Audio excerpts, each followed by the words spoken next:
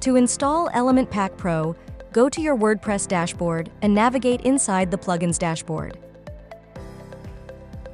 There, you can click on the Add New Plugin button and then click on the Upload Plugin button. You will see a plugin upload menu below the header. Then you can click on the Choose File button and select Element Pack Pro zip file from your local drive. Then you can click on the Install Now button to start the installation. Once installed, you can activate the plugin right away. On the side dashboard panel, you will see the Element Pack Pro plugin tab appearing.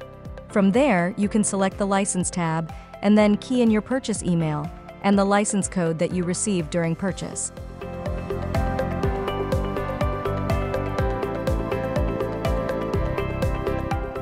Then click on the Activate License button to activate the Element Pack Pro version.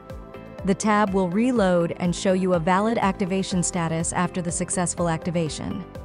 You can also check from the Plugins dashboard to find Element Pack Pro being activated. Please refer to this video if you face trouble installing Element Pack Pro for the first time. Good luck!